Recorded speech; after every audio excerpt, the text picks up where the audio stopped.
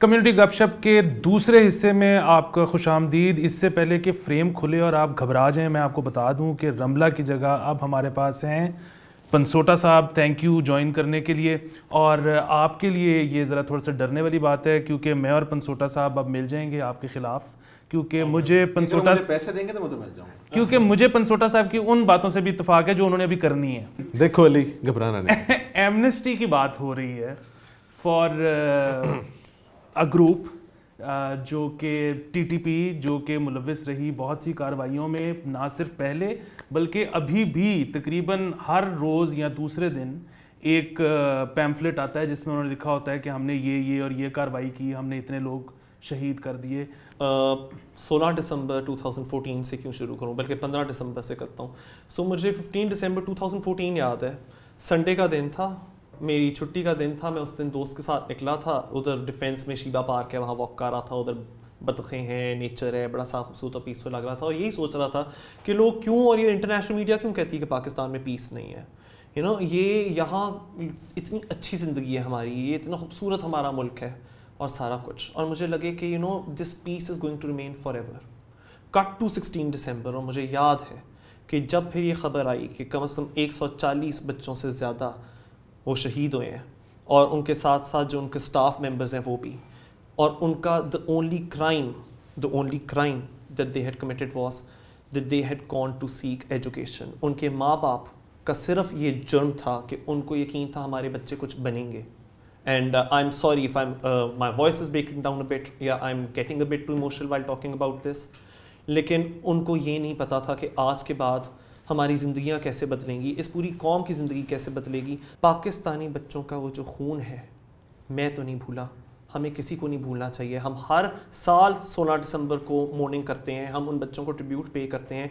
The best tribute is to make sure कि their memory and their families are serve justice amnesty international तो बंद कर देते हैं, लेकिन जो इन बच्चों की हलाकतें करते हैं, जो इन बच्चों को जान से मार डालते हैं, वहाँ एमनेस्टी वाला वर्ड पता नहीं कहाँ से आ जाता है, क्योंकि I can not even think of think I can't even think of the word amnesty मैं तो सोच नहीं सकता कि इसके अंदर माफ़ कर दिया जाए या ऐसे भूल जाया जाए। Justice ought to be served I mean lawyers वकील ऑनलाइन कम्युनिटी तो वकील होना या वकालत is all about justice I have made my introductory remark Pansota साहब टीटीपी वाले कह रहे हैं कि हमने आपसे एमनेस्टी मांगी ही नहीं। हम्म। तो आप क्यों दे रहे हो? ठीक कह रहे हैं आप जी एमनेस्टी कभी भी मांगी नहीं जाती पहली बात। एमनेस्टी की हिस्ट्री हिस्टोरिकली जो वाक्य जिसका ज़िक्र किया ऑफ़ कोर्स उससे पाकिस्तान की हिस्ट्री में ग्रूसम वाक़ नहीं हुआ। लेकिन उससे बहुत बड़े ग्रूसम वाक़ात हिस्टोरिकली हुए हैं और मैं सबसे पहले रेफरेंस दूँगा फ़तेह मक्का का। That was the biggest amnesty in the world ever तो जब आप फ़तेह मक्का की तरफ़ देखते हैं तो उसकी जो पिंच, जो पंच लाइन थी, वो ये थी कि सबको माफ़ी, आम माफ़ी, और स्पेशली उस शख्स को माफ़ी जो अबू सुफियान के घर जाके रिहाइश पजीर होगा। No this is not a strictly legal argument but मैं इस तरफ़ क्यों जा रहा हूँ? मैं अपने एक्चुअल आर्ग्यूमेंट की तरफ़ वापस आता हूँ। अब अबू सुफियान एंड कंपनी ये वो लोग थे, जिन्होंने नॉट ओनली लोगों को मारा हुआ था, बल्कि उनके रिश्तेदारों के कलेजे तक चबाए हुए थे।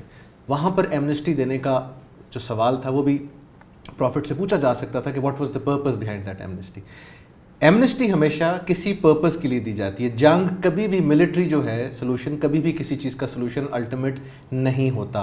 आपने इन्हीं लोगों से इतने साल लड़ाई की। आपने उन 140 जानों के बदले में एक लाख बीस हज़ार जाने दी। और आज भी आप उसी स्क्वायर पर खड़े हैं स्क्वायर वन पर, कि हमारे से तरीके तालिबान पाकिस्तान वाइप आउट क्यों नहीं होती? अब उसके पीछे आप दस हज़ार रीजंस दें। जो कि दूसरी साइड देगी कि जी, इन्होंने सही तरह जंग नहीं लड़ी, इनके पीछे लोग नहीं थे people were not supporting them army सही तरह नहीं लड़ी। अस्यूम करते हैं कि ये सारी चीज़ें ठीक हुई हैं। तो उसके इफ्ज आपने एक लाख बीस हज़ार बंदे का नजराना दिया। आपके साथ वाले मुल्क अफ़गानिस्तान में अमरीका ने ट्रिलियंस ऑफ़ डॉलर्स की जंग लड़ी। इवेंचुअली वहाँ आके एक हुकूमत बनाई, जो कि like a pack of cards it fell down और इवेंचुअली क्या हुआ? आपको दोहा में बैठ के एमनेस्टी देनी पड़ी या मुआदा करना पड़ा या जो भी करना पड़ा। और आपको तालिबान को माने या ना माने उस गवर्नमेंट को रिकग्नाइज करना पड़ा। वज़ी अजम Pakistan first of all it is not strictly an amnesty जब आप एमनिस्टी देते हैं तो एमनिस्टी ये होती है कि आप एक अनाउंस करते हैं कि इस इस एमनिस्टी के तहत आप जो जो बेनिफिट्स लेना चाहते हैं वो ले लें और वो एमनिस्टी इन प्लेस आ जाती है। This is an this is I would say कि एमनिस्टी सब्जेक्टेड टू समथिंग उसकी एक प्री कंडीशन है और वो ये है कि आप अपने आर्म्स फेंकें, आप सबसे पहले अपने हथियार फेंकें। फ़र्ज़ करें, ये चीज़ सक्सेसफुल हो जाती है पार्शली सक्सेसफुल भी हो जाती है। और एक थर्टी टू फोर्टी परसेंट भी पीस आ जाता है। तो what is wrong with this आपका अल्टीमेट एम है पीस आपका अल्टीमेट एम बदला लेना नहीं है।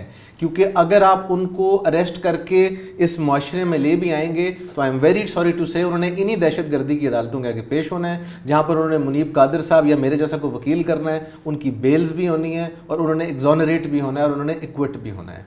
तो स्टेट के पास रह जाते हैं दो ऑप्शन एक ऑप्शन जो उस पर फिर आप बहुत चीखें मारते हैं मिसिंग पर्सनस कहाँ गए, बंदे कहाँ गए, उनको उठाया क्यों गया, वो सही नहीं उठाए, गलत नहीं उठाए, दूसरा फेक इनकाउंटर उस पर भी हम ऑफकोर्स हर सेन आदमी को उसको ऑब्जेक्ट करना चाहिए।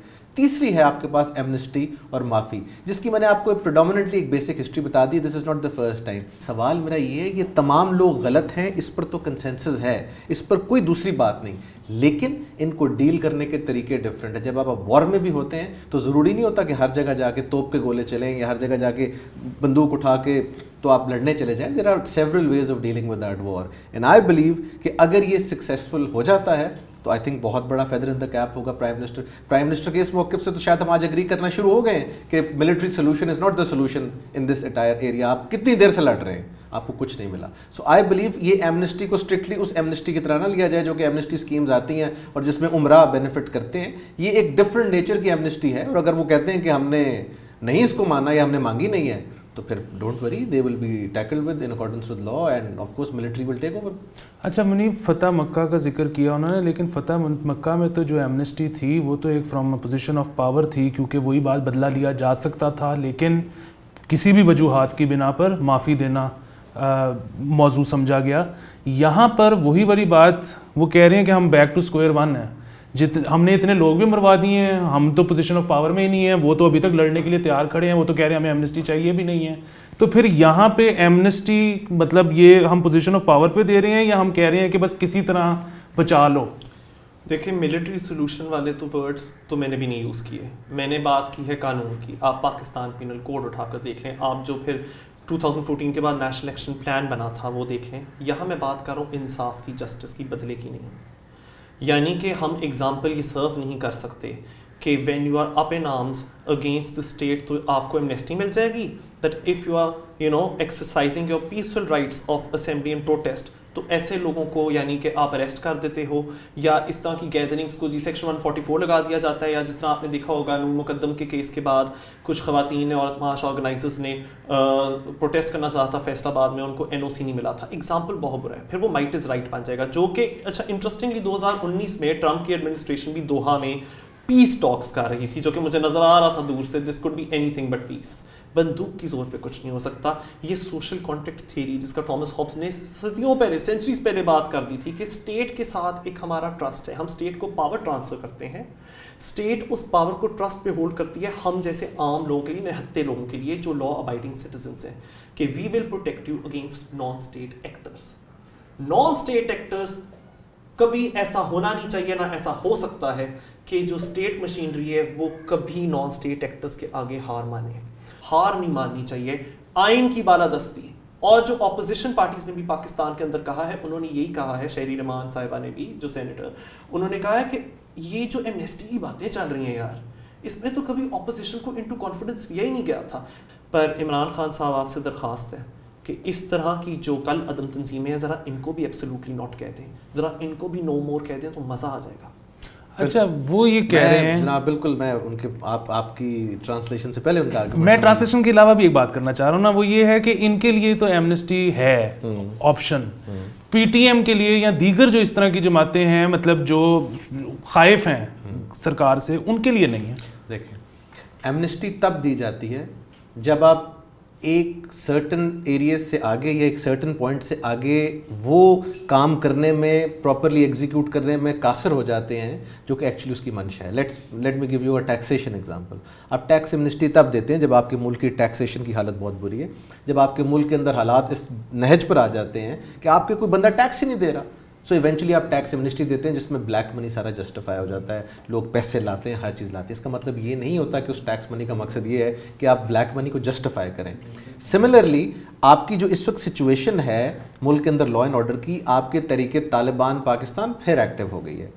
आप तरीके तालिबान पाकिस्तान से ऑफ़ कोर्स मैं कभी भी इस्तेमाल नहीं करूँगा ये अल्फाज के हम हार गए हैं। Army has military has you know fought them really well however वो ख़त्म नहीं हुए हम उनको एलिमिनेट नहीं कर सके अभी तक।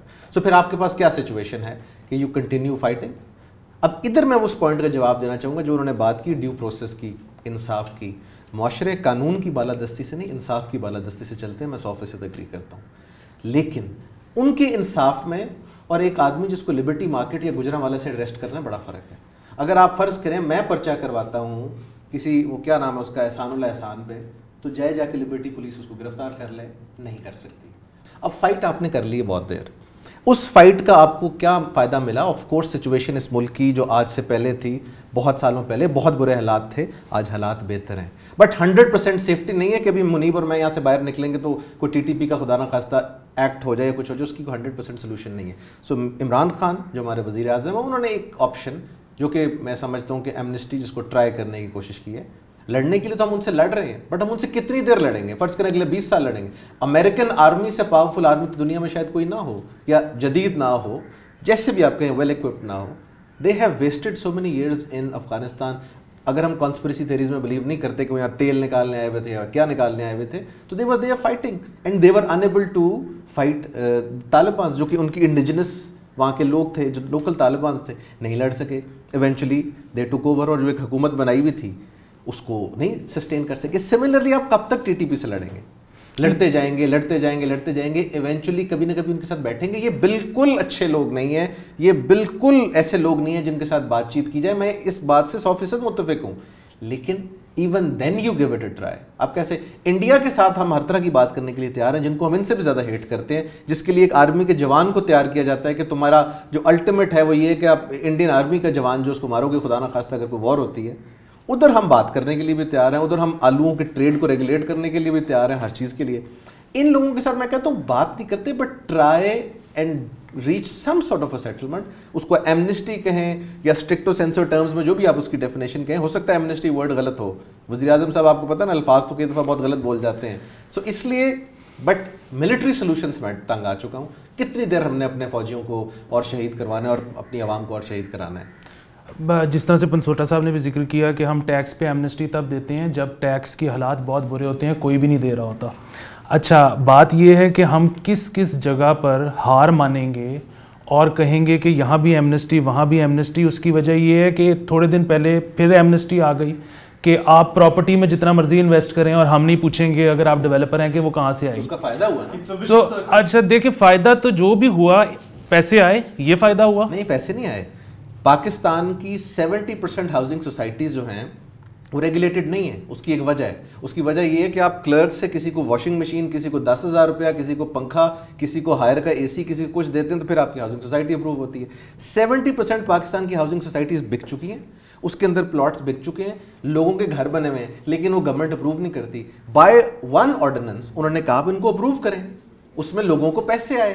मुझे बताएँ नुकसान किसका है? नुकसान एक तो पहली बात ये कि अब एफएटीएफ ने कह दिया है कि हम निकलवा के देख सकते हैं।